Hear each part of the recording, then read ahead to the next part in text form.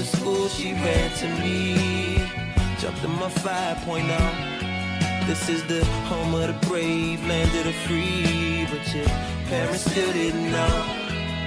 She said, I've had a hell of a summer. So, baby, don't take this hard. But maybe we should get in another before this goes way too far.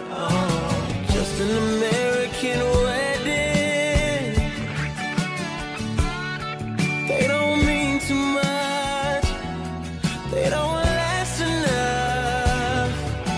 We had an American wedding night. Now mine, yours. American.